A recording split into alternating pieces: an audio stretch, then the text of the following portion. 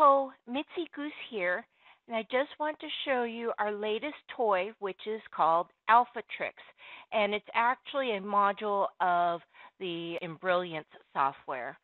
Now, what we have done is to create a generic file with all the different letters, numbers, and special characters so that we could get a sample of all of these for our different fonts.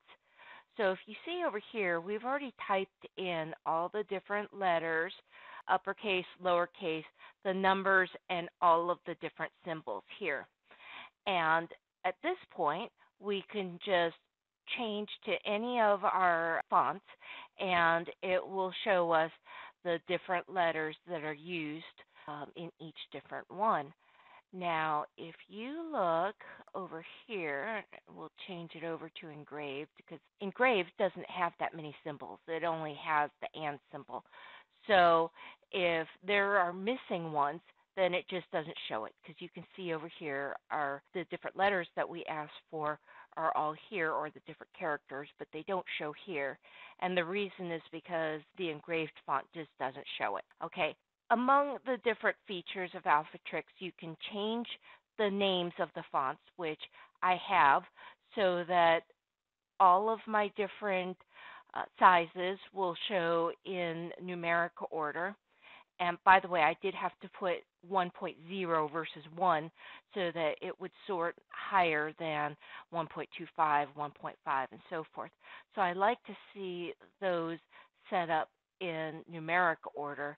I also like to put the designer at the end versus the beginning so that they all sort alphabetically. Now, let me show you another trick that I do with the alpha tricks. Okay, so if you notice here, um, and I'll just change the color because this is going to bother me here. Um, but if you notice some of the letters, such as P and Q, they really should be at the baseline so that the bottom of the rounded edge of the P or the rounded edge of the Q is more at this bottom of the O. So it seems to be floating here. The Y also has this floating feeling, as well as the G, the J, and I don't like this Q. It looks like it's also floating because the bottom, to me at least, the bottom of the Q belongs at the bottom of the P. So now, since I've typed out all the letters that are available, I can quickly see that. You'll also notice that these are apostrophes and quotes, and I'll prove that by showing you over here. See, these should be also floating above, not over here at the baseline. So let me show you how you can uh, go into AlphaTricks and correct this. So we're going to go into this button here. No, I don't want to begin importing a font. Now here you're going to have to choose your font again. So, so and this is choosing the font that you want to fix. So let me go in here. Okay, Frederick. And I am going to go in and start by fixing my Q. Now you notice that it aligned the Q with the bottom of the little tail there versus aligning it with the bottom of the uh, rounded O-ness here. So um, what you do is you just click on him and I'll tell you one of the tricks here is if you hold down your control key, it'll move slower so that you can get it closer to that baseline in a more precise way. And yes, I am particular and I really want that round part to touch the baseline there. And I find that by holding the control key, it kind of slows the whole process down.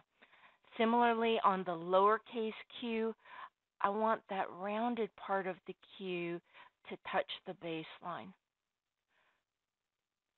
So we're going to do that. And then the P, same thing. And then I'll have to go back and fix some of these other letters. Okay, now kind of take note. This is kind of the center line. If you remember from handwriting class, Okay, this is the baseline.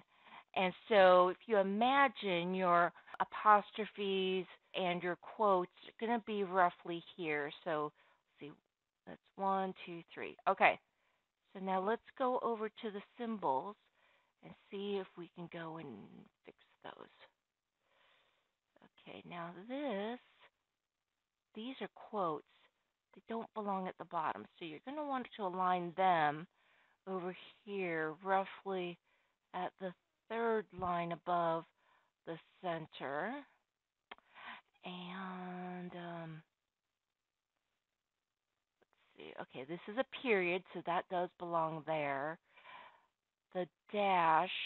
Now notice this. This is a dash here. Uh, this belongs more at the center line.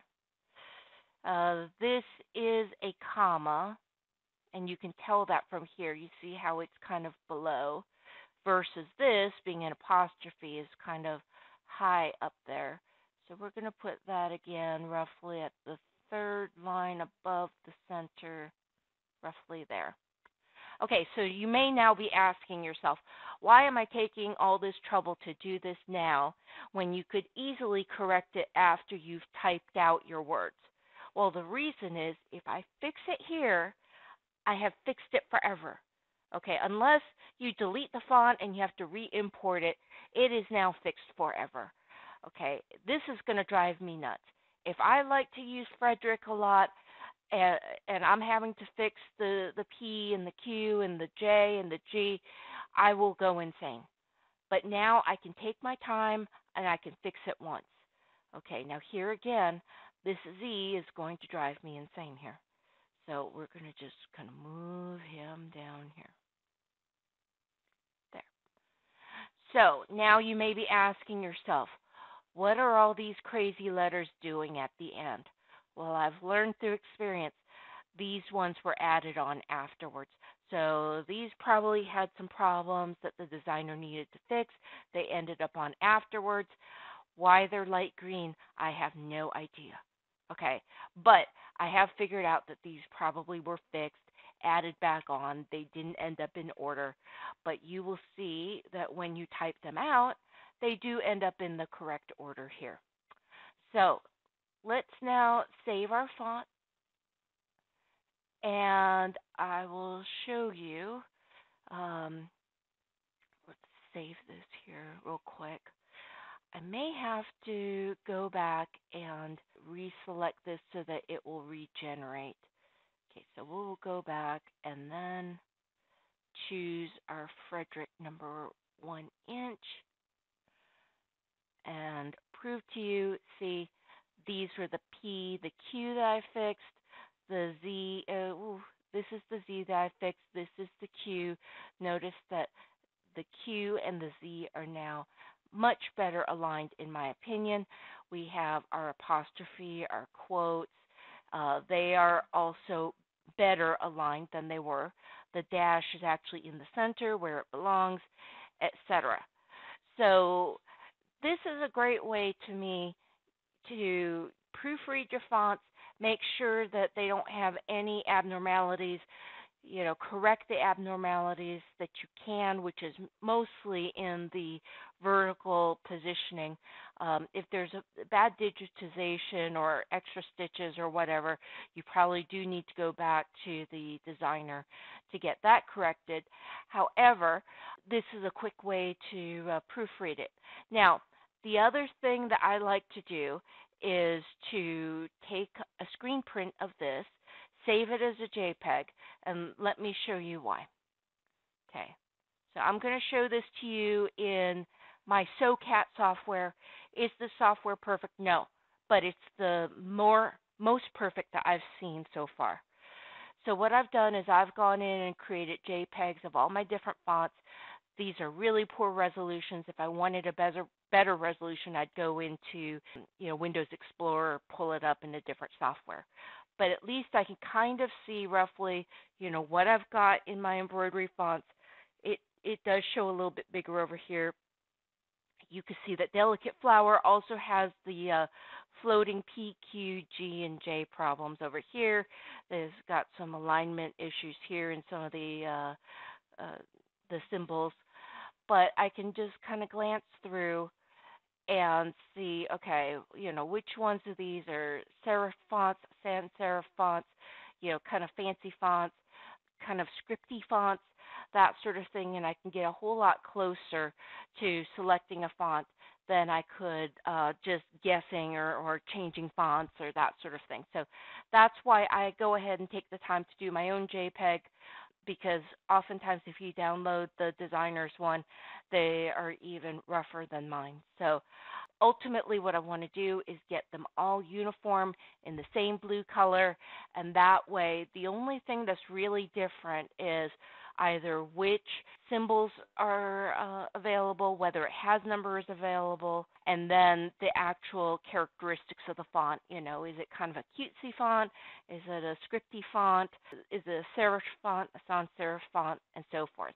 So this is how I use my alpha tricks to get what I want. And admittedly, I, I think it's uh, a little on the expensive side just for the ability to kind of fix what should have been fixed by the designer. Nevertheless, I guess I am a control freak. I do like precision, and I want to be able to fix it myself, as well as fixing the names of the fonts and so forth. So to me, it was worth it.